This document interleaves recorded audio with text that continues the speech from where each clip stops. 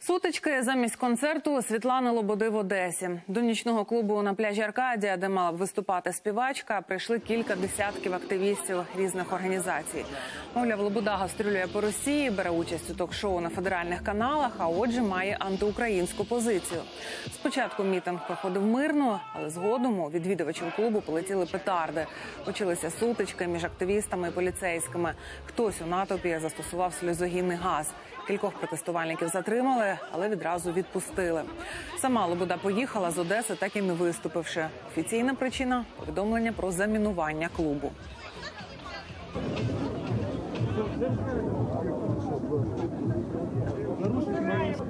Організатори, я так зрозумів, відповідально віднеслись до ситуації і вирішили скасувати концерт е, Лободи.